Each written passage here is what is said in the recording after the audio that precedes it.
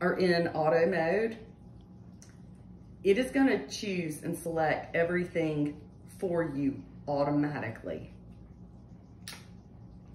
It's, it knows that you need the flash right now because it automatically came and popped up.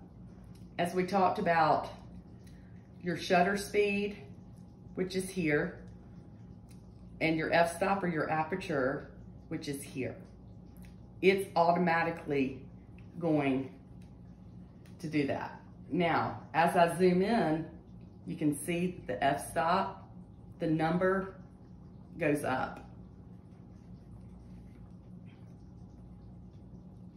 The number now is down to 3.5. So basically what that is, is that is your aperture.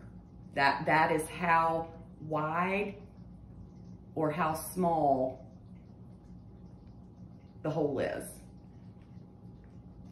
So it does it in auto, it, it does all of that for you.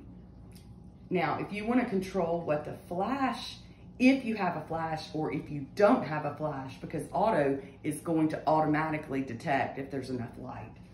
But if you say wanna do something and don't want the flash, like maybe there's enough light from there to come here and take a picture.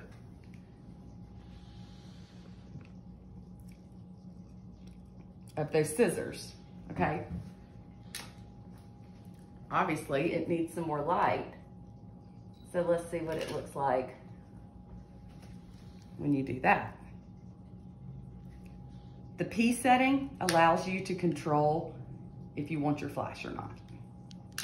That's basically all it does.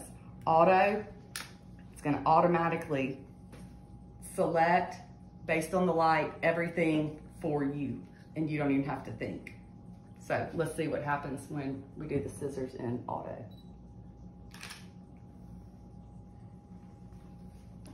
Okay, and there was the first, there was the second, there was the third. What the difference that you can then look to see what the shutter was, what the aperture was, and it tells you what mode you shot in.